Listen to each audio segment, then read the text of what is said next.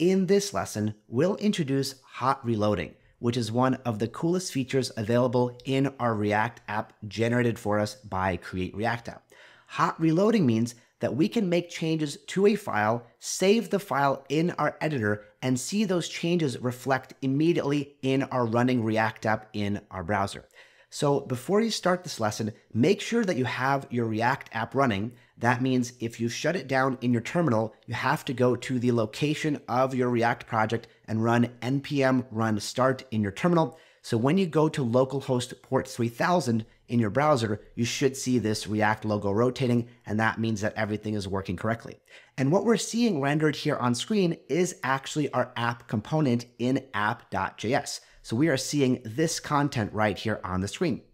You can see here is the text that says edit source slash app.js and save to reload, and it appears right here on the screen.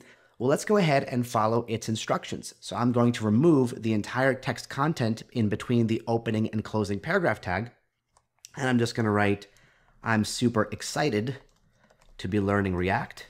And of course, we have to add an exclamation point because we are super excited. And notice what happens in the browser as soon as I save this file.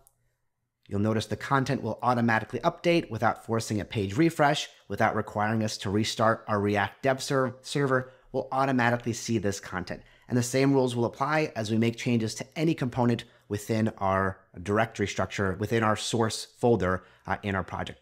So you don't really have to wait long to see the effects of your changes, which obviously encourages a very active uh, approach to experimentation when you write React code. You kind of have this trial and error feedback loop where you can see if something works, see if it fails, and then continue modifying your code very quickly and seeing uh, if you get the result you want in the browser instantaneously.